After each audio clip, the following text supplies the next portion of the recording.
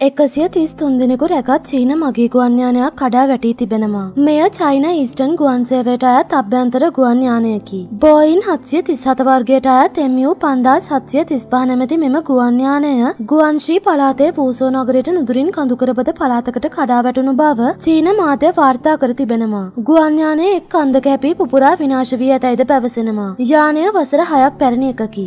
යානය අනතුරට පත් වූයේ කෙසේදැයි මෙතෙක් අනාවරණය වී නැත. සිද්ධිය ගැන පුළුල් පුළුල් විමර්ශන ආරම්භ වී තිබෙනවා. අනතුර සිදුවූයේ අද සවස චීනයේ වෙලාවෙන් දෙකයි විසි දෙකට පමණයි. රේඩාර් තිරෙන් යානය අතුරුදහන් වෙදී ඒ නෝට් තුන්සිය හැත්ත හයක වේගයකින් අඩි තුන්දස් දෙසිය විසිපහ කියලින් පියාසර කරමින් තිබුණ බවද පැවසෙනවා.